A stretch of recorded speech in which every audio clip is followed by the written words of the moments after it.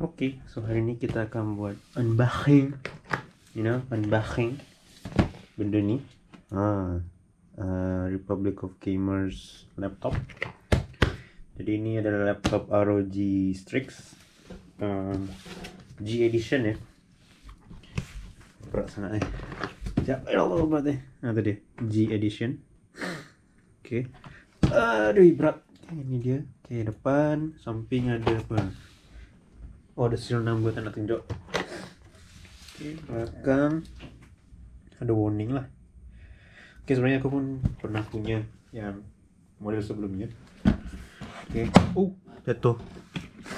Okay, ini dia. Yang ini aku punya yang sebelumnya. Ini model pertama. Eh tak, model yang kedua lah kalau tak silap daripada ROG series. Okay, ini dia. Ini sebenarnya dapat kotak yang besar. Tapi kotak besar aku sekarang dekat store Sony yang aku yang punya untuk laptop lah. Nanti kita compare macam mana lah. Okay, so nak simpan tapi besar sangat kotak aku just angkat macam ni je lah. Okay, so kita buka. Uh, spek dia ni yang ni adalah Intel Core i5 uh, 90 berapa ni generasi yang ke-9 okay, generation yang ke-9 dan ya okay. tu dia dekat atas dia ada tulis ya apa ROG logo dengan ROG Strix okay. lepas tu kat sini kita akan of course dapat bag secara percuma yang menariknya kalau dekat Indonesia ke tu silap ya kan dekat India Ya, kalau dekat India korang tak dapat yang bag. Ha. Okay, ni bag backpack dia. Okay.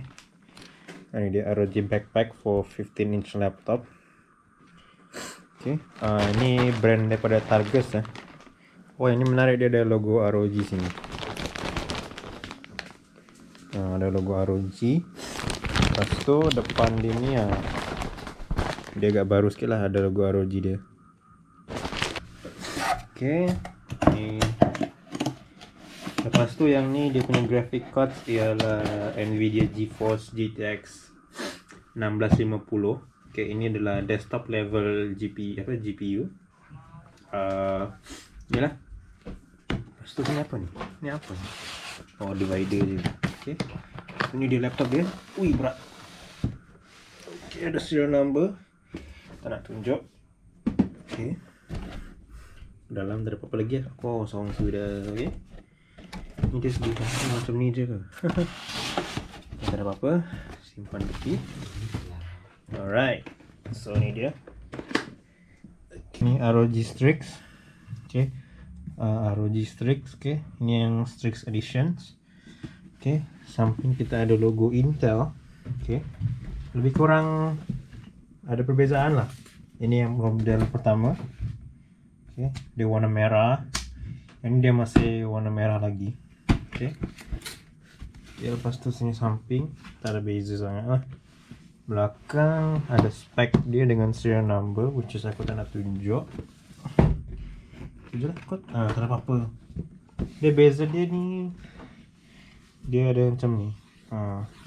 Kotak dia buka macam ni. Ini dia dia tutup semua lah. Okay. So jom kita buka Okay uh, RAM untuk graphic card dia ni adalah 4GB Okay 4GB Dan uh, uh, Apa nama dia? Uh, RAM datang. Dia datang RAM dengan uh, Capacity 4GB DDR4 Tapi ni dah upgrade Dia 8GB Jadi total RAM dia sekarang dah 6, 12GB lah.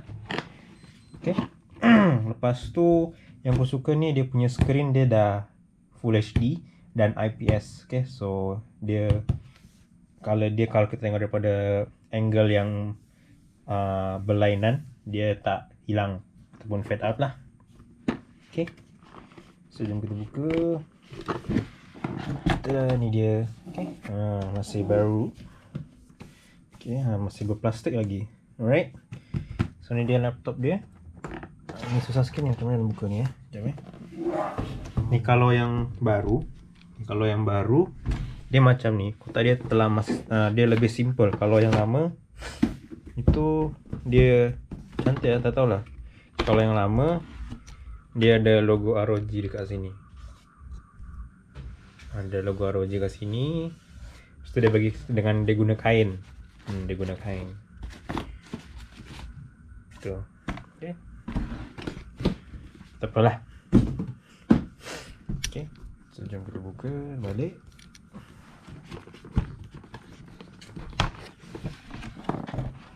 okay. so aku nak buka dulu eh. Oh my god, saya buka dia ni. Ouch. Kat samping kiri ni kau rasa charger kan? Ha, ya. Charger. Yang ni dah ditest dekat kedai dulu. So just ensure tak ada apa-apa yang masalah. Yang ni charger. Oops. Charger dia cantik, dia lebih kecil. Okay, charger dia ada logo ROG sini. Okay, lepas tu sini dia punya soket dia. Okay, dia punya plug. Okay, trigger pin. Okay, ha. isi adapter dia ni. Ok lah cukup kecil lah. Kalau jenis yang aku punya ni dulu sebelumnya besar gila lepas tu berat. Ok lepas tu sebelah sini oh plastik yang tadi tu. Ok lepas tu sini ni dah aku dah dia aku upgrade RAM dia jadi 8GB tak jadi 12GB lah. Ha, ni dia punya speed adalah 2666 ok dah dipasang dah. Lepas tu ini ada kabel untuk pasang uh, external hard disk. Jadi dia dalam ni dah ada space untuk korang pasang uh, hard disk lah. Tapi dia punya kabel belum dipasang lagi lah uh, ok lepas tu ni ada skru dia ni. Okay, dia ada skru untuk pasang hard disk korang lah. Dia ada empat. Hmm. lepas tu ni ada apa ni? Hmm. oh user guide. Ha, user guide lah. Okay. user guide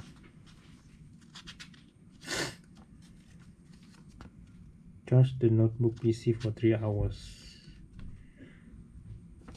Okay. Semua regulation apalah oh, okay.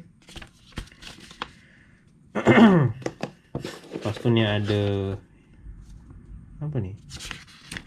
Ada benda yang penting. Cara nak buka. Lepas tu dia suruh charge your laptop for 3 hours okay tu je lah alright. So kita akan buka laptop dia ni. Ni memang model Malaysia sebab dia ada logo MCMC sini. Okay. Ada logo MCMC sini lah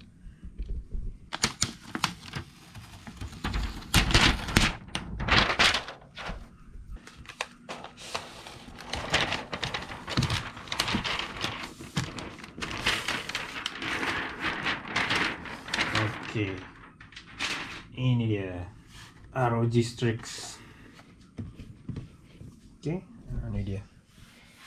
Atas dia matte finish. Okay Matte finish. Dan untuk model ni Dia punya lampu Dia punya berapa? Dia punya logo ROG ni Dia tak menyala lah. Ha, Dia just uh, Warna chrome ni lah. Okay Lepas tu sini dia punya vents Okay Sini dia punya ventilation Untuk exhaust port dia Untuk I.O uh, I.O sebelah kanan memang kosong tak ada apa-apa. Tapi sini dia speaker sini speaker.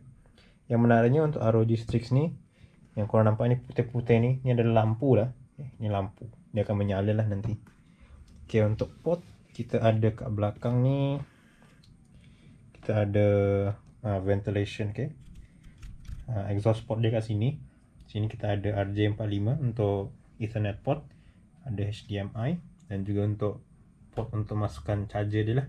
Ha, sebelah kiri kita ada 3 USB 3.0 okay, kita ada 3 USB 3.0 dan juga headphone jack. Lepas tu tak ada tu je. Simple sangat. Okay. ini dua dua tone ya. Jadi dia punya finish tu dia macam ni. Lepas tu macam ni. Ha, dia ada slash macam ni ya. Ha, tu dia jadi dekat sini dia ada logo tulisan ROG Strix. Okay jadi dekat keyboard dia ni jadi lampu dia ni sekarang dah RGB semua dia okey. Uh, dekat sini yang menariknya untuk R Districts ni dia punya uh, apa dia punya letter okay letter keycap dia ni untuk WASD dia ni transparent sebab uh, majority gamer memang you memang guna uh, guna letter ni lah. Okay, guna uh, apa nama? Input letter WASD ni untuk main game. Okay untuk space uh, dia punya size memang bahagia bagus. Okey dia punya apa dia punya apa ni namanya arrow key pun well layout. Layout dia memang cantik. Enter pun cukup besar. Space dia pun cukup besar. Tapi yang sayangnya untuk model 15 inci ni aku tak salah ni 15.6 lah kalau tak salah untuk 15.6 ni dia tak ada numpad okey kalau aku punya ada numpad lah. Uh, yang dah berubah sekarang juga adalah dia punya right and left click dia ni dah uh, dah jadi sebagai traditional button lah. Okay. lepas tu dia punya touchpad. Okay, ni aku dah cakap tadi ini Core i5 quad core ya. Core i5 quad core 9 generation GTX 10650 eh 1650 uh, 4GB DDR4 sorry DDR5 ya yeah. okay, kita akan on Okay, kita on lah.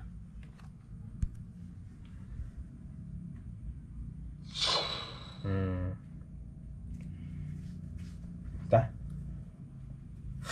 Nanti aku tunjuk ni. Uh, nanti dekat sini pun boleh tukar warna lah. Nak jadi warna apa ke. Boleh setting lah nanti dekat dia punya uh, software. Okay. Jadi dia sebelah sini lampu dia. Sebelah sini. Okay and then sebelah sini juga okay cantik lah alright so rasa sejalan tu video kali ni ah tu tiap tak tukar warna ah tu dia tu RGB okay tu dia tu dia bertukar warna Okay, tu tukar warna, tukar warna sini, panjang. Ha. Ni kalau time malam memang cantik lah. Sampai jumpa semuanya di video berikutnya. Bye bye. Ya, dah siap.